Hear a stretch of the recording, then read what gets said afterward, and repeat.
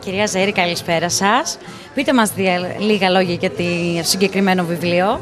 Καλησπέρα, χαίρομαι πάρα πολύ που βρίσκομαι κοντά σας στην πανέμορφη δράμα. Είναι πρώτη φορά που έχουμε για παρουσιάσει και έχω πολλούς φίλους και φίλες που με περίμεναν να έρθω εδώ. Έρχομαι κοντά σας στην αγκαλιά του ήλιου, το καινούριο μυθιστόρημά μου.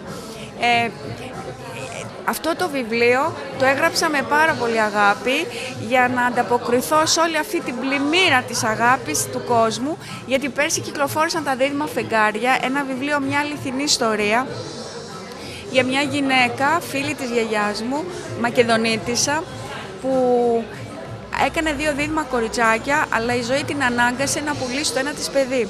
Αυτό το βιβλίο, τα δίδυμα φεγγάρια, δηλαδή εντάξει, ήταν από τις πιο ευτυχισμένες ε, ε, χρονιές της καριέρας μου.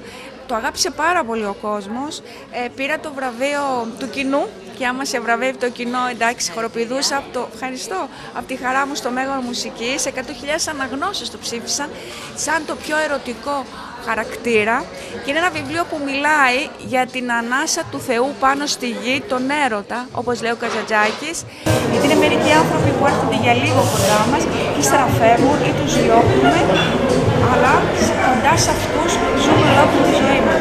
Και φυσικά έκανα, ε, χόρεψα πεντοζάλι στο παρόν, σε μια συναισθηματικά διαταραγμένη ηρωίδα, την Βαλέρια, μια κομμάτια που είναι πάθος, μ' αρέσει να γράφω για ε, γίνεται, τον αγαπάει τόσο πολύ που είναι η ανάσα του χώρος και γίνεται χορεύτρια στην πρώτη χορεύτρια στη λυρική σκηνή. Ταυτόχρονα όμω η Βαλέρια είναι και κλέφτη. Άρα για τις συνθήκες της ζωής είναι ένα, είναι ένας θηλυκός των δασών, είναι μια απλή κατοποιός και στον δρόμο της ζωής της, όπως κάνει κάποια φορά η ζωή, στον δρόμο της ζωής της συναντάει τον Νικόλα, ένα αστυνομικό, που ερωτεύεται. Τη μία μέρα ο Νικόλας ζητάει να γίνει γυναίκα του, ένας έρωτας φωτιά και την άλλη στιγμή ένας φόνος, κάποια γεγονότα αναγκάζουν τον Νικόλα να περάσει χειροπέδες στην κοπελιά που αγαπάει.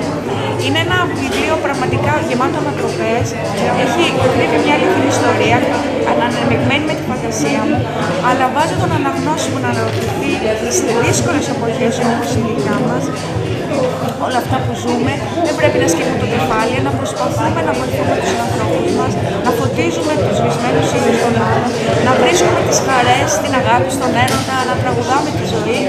Έχει, έχει μια ρωσίδα αριστοκράτησα μέσα, έχει τον καπιτάν Μιχάλη, τον πατέρας του Νικόλα, ε, έχει ένα πτώμα στη λίμνη του Αγίου Νικολάου, στην Κρήτη.